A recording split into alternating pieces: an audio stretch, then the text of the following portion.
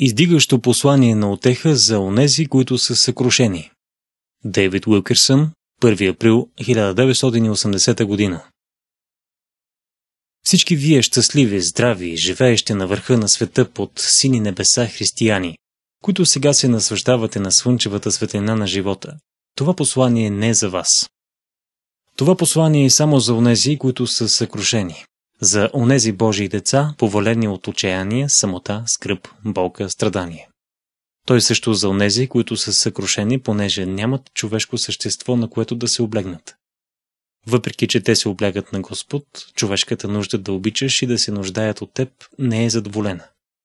Но най-вече това послание е за онези, които не могат да се оттърсят от чувството си на отчаяние, понеже не разбират през какво преминават. Познавам някои много святи християни, които изживяват толкова тежко и болезнено изпитание, че понякога се питат дали Бог не ги оставя да бъдат наранени повече, отколкото биха могли да понесат. Болката в сърцето им почти ги смазва и те се чудят защо молитвите им за освобождение не получават бърз отговор. Познавах велики Божии мъже и жени на вяра, които преминаваха през толкова мрачно и дълбоко изпитание, че самият живот изглежда не си струваше да се живее. Божий служител, мой приятел, който преминаваше през най-трудното изпитание в живота си, ми каза Дейвид, напоследък съм толкова отчаян, толкова изтощен, толкова ми е писнало и съм толкова обезкуражен, че започнах да разбирам защо някои невярващи искат да се самоубият. Мисълта за самоубийство никога не ми е минавала през ума, но понякога не бих могъл да продължавам без спасителя си. По-скоро ще умра, отколкото да продължавам да живея така. Сега разбирам защо толкова много хора прибягват към наркотиците и алкохола. Трябва да се другират, за да продължат. Знам, че Бог ще ме изведе от това, но точно сега мразя мига, в който трябва да стана от леглото. Все пак вярвам в Бог. Почти чувам как някой казва, ако този Божий служител, твоя приятел, стоеше на Божите обещания и живот чрез вяра, той винаги би бил щастлив и проспериращ. Би славил Бог, би се усмихвал и радвал. Той трябва доста да се съмнява, умът му ще да е доста негативен. Знам, че Новият завет ни дава по-добри обещания от Стария. Знам, че Христос никога не ще позволи да бъдем изпитани повече, отколкото можем да понесем. Знам, че Бог иска всичките му деца да влязат в почивката на вяра и да не се тревожат и страхуват. Знам, че има пълна победа, радост и мир за всички, които си почиват в Словото му. Факт е, че Бог все още позволява трудни времена, в които на душата е позволено да премине през огнени изпитания, което според Божието Слово е за да ни изпита. Бог всъщност позволява жестоки трудности в живота ни, за да докажем любовта си към Него. Възлюбени, не се чудете на огнената изпитня, която дохожда върху вас, за да ви опита, като че ви се случва нещо чудно. Първо Петрово 4.12 Всички пророци предсказват, че Божиите светии ще бъдат изпитани чрез огън, точно както златото е пречиствано чрез огън.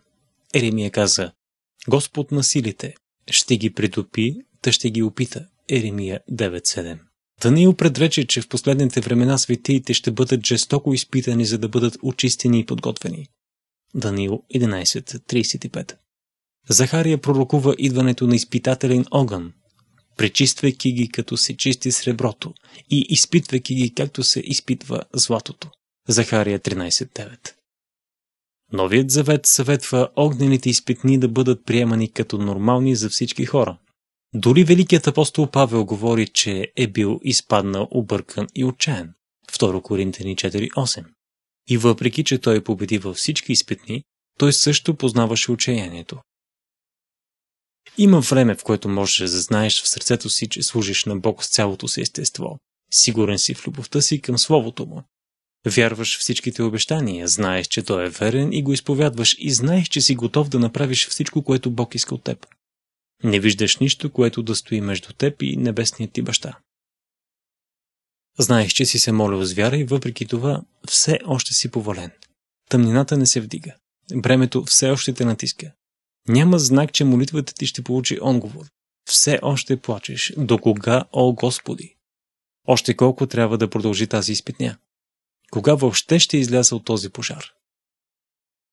Патриарсите и пророците също бяха съкрушени понякога. Има ли някакви примери в Библията за страдания и нещастие сред вярващи хора, които бихме свързали с нашите изпитания? Да. Всъщност, Яков ни окоръжава да вземем пророците за пример на страдания и нещастие, след което той говори за страданията на Йов. Ето, облажаваме уния, които са останали твърди. Чули сте за търпението на Йов и видели сте седнината въздадена нему от Господа, че Господ е много жалостив и милостив. Яков 5.11 Ето ви един праведен мъж на Бог, толкова съсипан, че купнееше да умре. Беше толкова смазан от мъка и скръп, че загуби желанието си за живот. Синовете му бяха отнети внезапно. Загуби богатството си, влиянието си и доброто си име. Приятелите му го изоставиха и седнаха да го съдят и обвиняват. Тези, на които беше помагал, се обърнаха срещу него. Тези, които обичаше, вече не му бяха от полза. Вместо да му помогнат, тези около него го обвиняваха за това, че се бил докарал до там. Дори собствената му плът и кръв не разбираше през какво преминава. На никого не му пукаше за него. Поглеждайки в бъдещето, всичко, което Йов можеше да види, беше болка, сълзи, самота и пръснота. Нямаше нито един сребърен кант във всички тези образи, които се бяха надвесили над него. Освен всичките борби с самотата в мъките си, физически заболявания го налегнаха. Тялото му също стана враг. Духовно, физически и финансово Йов беше съкрушен по всякакъв начин. Самотата, която изпитваше Йов, трябва да е била ужасна. И отчаянието продължи толкова дълго, без да се зададе облегчение, че Йов започна да се озлобява. Той презря деня на раждането си, като че искаше да каже «Господи, ти ме доведе на този свят». Заради това. Бях ли роден, за да живее в смут, болка и проблеми? Той запита защо на Бог му отнемаше толкова дълго време, за да му отговори. Но най-голямото отчаяние на Йов дойде от дилемата, която не можеше да разгадае по никакъв начин. Защо се дава видео на човека, чийто път е скрит и когато Бог е преградил? Йов 3.23 Това е трудната дилема. Защо Бог ми се изявява толкова ясно, а в същото време ме обгражда с проблеми? Бог продължава да ми открива Словото си, Той е толкова реален в молитвите ми, виждам светлината на славата и верността му, въпреки това пътят пред мен е все още неясен. Защо цялата светлина освети душата ми, а аз все още съм объркат, скрит, заобиколен от проблеми?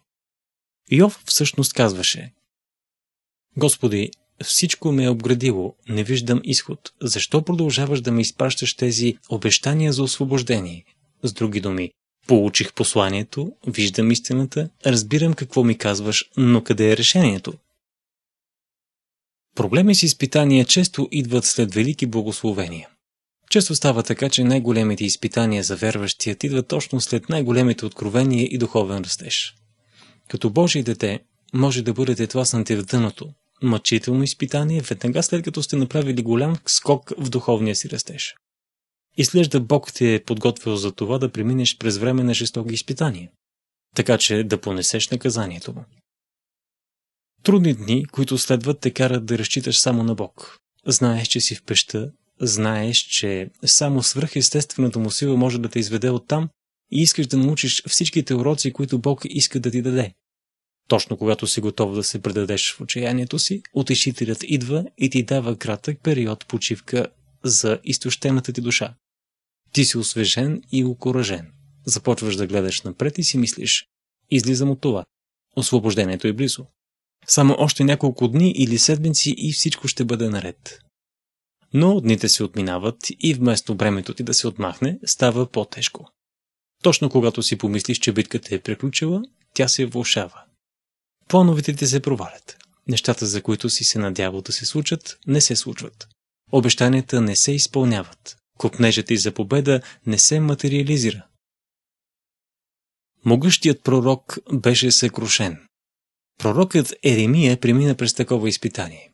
Той се надяваше на освобождение, но вместо това беше хвърлен по-дълбоко в ямата на отчаянието. Той извика «Обгради ме, та да не мога да изляза, отекчи веригите ме, огради сделани камъни пътищата ми, изкриви пътеките ми». Почет на Еремия 3.7.9 Колко ясно описа този пророк чувството на Божие дете, което вижда себе си хвърлено в самите дълбини. Чувство на ограбеност, бреме, ставащи все по-тежки вериги, каменни стени от всички страни, а пред теб неясен път, неравен път. Спомнете си, че този същия Еремия, когато Исус цитираше толкова често. Как можеше Божий пророк, който гърмеше срещу царе и нации, да падне в такава дълбока бъркотия и отчаяние? Велики царе и водачи на могъщи армии се подчиняваха на всяка негова дума. Това е същия пророк, който наказа царете Иоанан и Есания с целите им армии да чакат 10 дни, докато той търсеше Бог за ръководство. И подир 10 дни Господното Слово дойде към Еремия, и той извика царете и началниците и им каза, така казва Господ, Еремия 42. Отново и отново Бог говори на този смирен пророк. Той изпитва велики откровения и мощни помазания от Святия Дух. Той знаеше какво е да излезеш от тайната молитва на стаечка с ясни напътствия от Господ. Но ето, че е съкрушен. Много съкрушен. Самотен, чувстваш се отхвърлен, мислиш, че Бог е спрял да отговаря на плача му. Вече позволи на онзи стар корен от недоволство да избои и в резултат на това стана неспокоен и затормозен. Загуби духовното хладнокръвие и плака. Насити ме с горчевини, опи ме с пелин. Отпуснал си душата ми далеч от мира. Заправих благоденствието. Почет на Еремия 3.15.17 Еремия изгуби от поглед Божията ръка в живота си. Вече не можеше да почувства Бог в каквото и да било от това, което му се случваше. Мислеше си, че вече е сам, че Божието водителство е прокиснало, че може би след всичко това, светлината в него е била всъщност тъмнина. Той ме е водил и завел в тъмнина, а не в виделина. Почет на Еремия 3.2 Колко тъжно, но колко обичайно за всички Божии хора. Еремия стигна дъното. Не можеше да падне по-низко. Чуйте жалката му безнадежност. Силата и надеждата ми си отидоха. Всичко, което остана е мизерия и страдание. Нищо не остана освен пепел. Почет на Еремия 3, 16-21 Чуда се, колко ли от слушателите ми могат да се съпоставят с Еремия, когато беше съкрушен. Ти също ли си в тази точка от изпитанието си, в която ти си иска да извикаш Господи, накрая на силите си съм.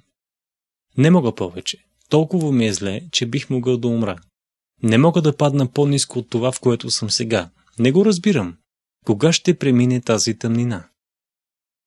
Чудиш ли се дали някога ще дойде ден, в който отново ще си щастлив и безгрижен? Тревожиш ли се, че изпитанието ти вече трябва твърде дълго и няма да бъдеш в състояние да издържиш, ако то продължи? Продължават ли да се разпадат надеждите и мечтите си, като си обречен на проблемен и мизерен живот?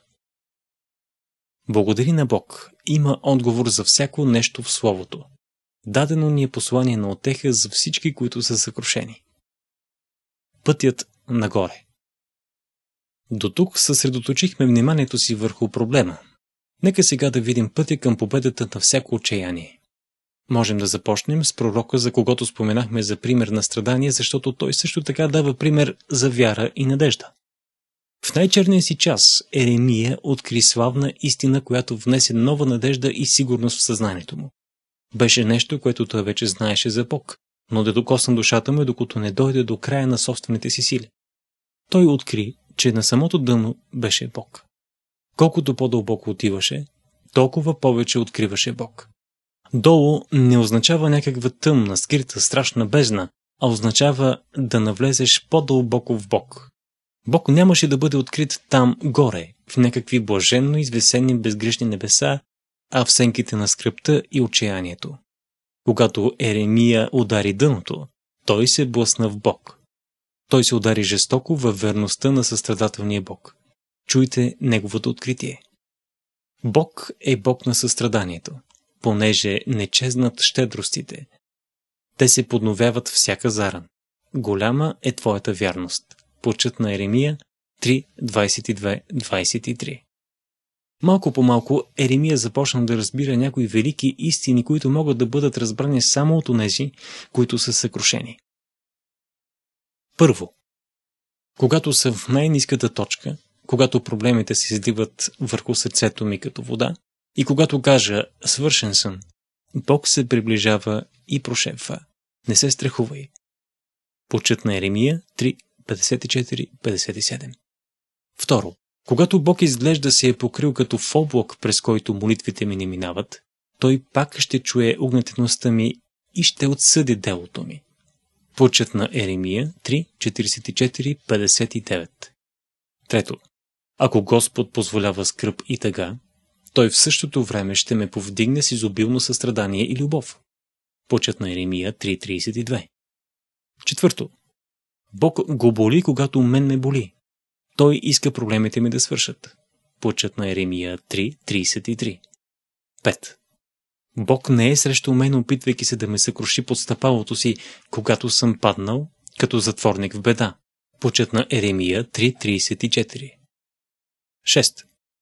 Бог не се опитва да саботира моите планове. Той не е причина за объркването ми. Не работи срещу мен. Почет на Еремия 3.35 7. Дори в отчаянието и болката ми, когато мразех да посрещна новия ден, състраданието му не ме изостави. Милостите му ме очакваха, нови всеки ден. Почет на Еремия 3, 22, 23 Понеже Бог е винаги верен, той ще постъпи правилно с мен. Бог няма да ме отреже, Бог ще ме спаси. Почет на Еремия 3, 25, 26 9. Когато съм най-долу, няма къде да избягам, освен към Бог. Ще повдигна сърцето си и ръцете си и ще му благодаря за неговата вярност. Почет на Еремия 3.40-41 И 10. Съкрушението е изразходвало силите и надеждите ми. Аз съм празен и унесен, така че сега вече мога изцяло да завися от милостта му. Почет на Еремия 3, 18, 20, 21 Това, което чухте, означава Премести погледа си от проблемите си и притесненията си и си припомни, че Бог все още е верен и че Неговото състрадание и нежна любов е на Твое разположение. Смъмри неверието си и кажи на душата си. Чакай малко, Бог все още е Бог. Той все още е на трона си, чуваш и отговаряш на молитви. Бог ще се раздвижи за мен нито минутка по-рано или по-късно. Той не се опитва да ме нарани. Той ме обича. Бог прелива от любов към мен, грижи се за мен. Точно сега, макар че съм съкрушен и наранен, той не е далеч. Той вижда всяко мое действие, събира в бутилка сълзите ми, ще предприеме бързи действия и ще направи онова, което трябва да направи, на време.